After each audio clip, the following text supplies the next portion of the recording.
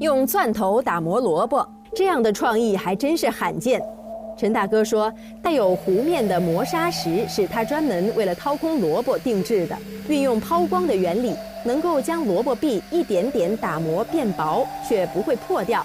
这是眼力和手感的统一，越薄越见功力。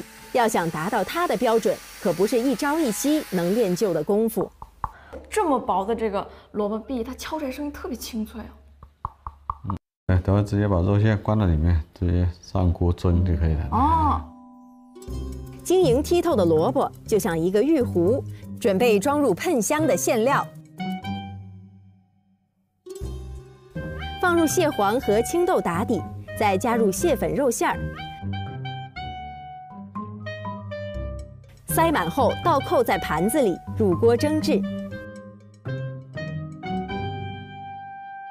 陈大哥说，要想吃蟹不见蟹，还需要再一次画龙点睛。嗯，等会我变个魔术给你看一下啊。还能变魔术？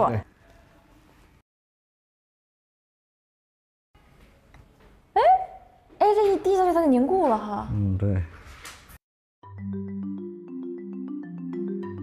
这瓶橙黄色的酱是什么？为什么遇到水就会凝固成小圆球？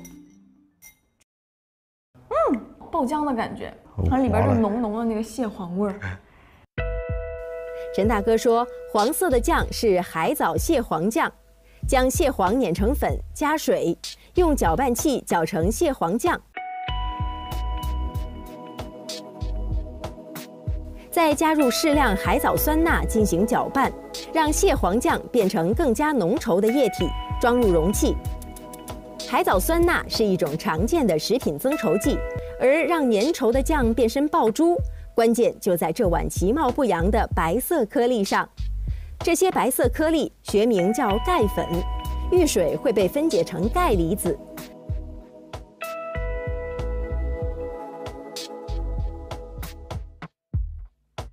当海藻酸钠遇到钙离子，可迅速发生离子交换，生成凝胶。